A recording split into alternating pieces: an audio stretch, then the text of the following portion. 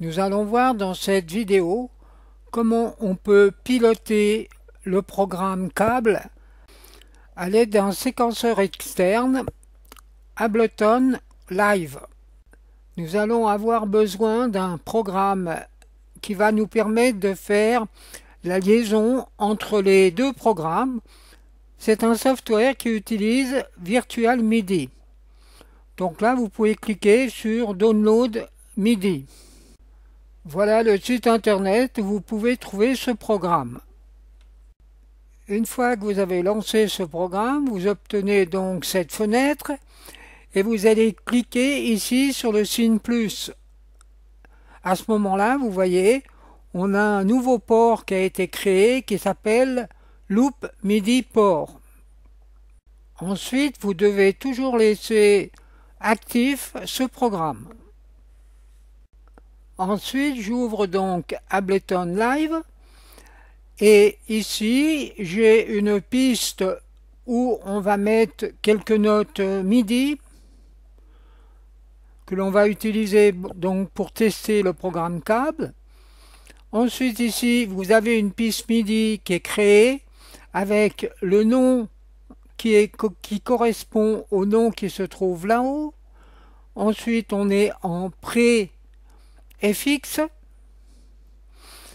Là, on est sur Monitor In et vous voyez, vous devez retrouver ici votre port Loop MIDI port et sur le canal 1.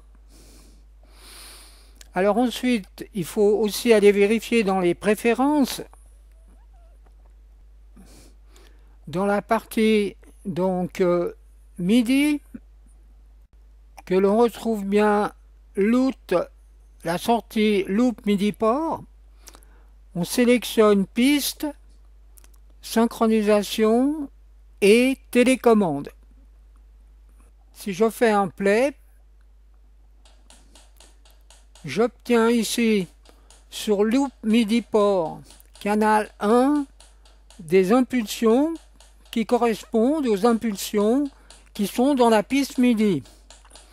On a ici, vous voyez, une petite lampe qui clignote, ce qui veut dire que les informations sont bien transmises à l'extérieur du séquenceur.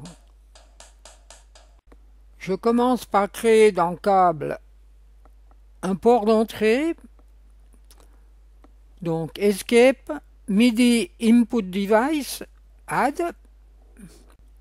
Ensuite, je choisis ici le device.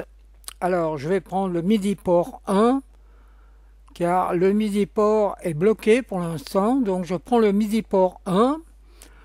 Bien sûr que j'ai fait une correction dans Ableton, loop MIDI port 1.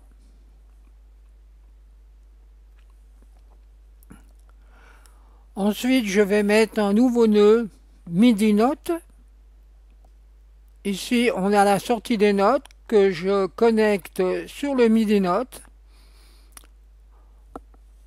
Ensuite, dans Ableton Live, je vais sélectionner le kick. Je fais tourner et je fais un apprentissage clear, learn et vous voyez que la note ici est G3. Ensuite, euh, je vais créer donc euh, ce programme pour utiliser les MIDI notes. Alors, j'en ai deux de MIDI notes.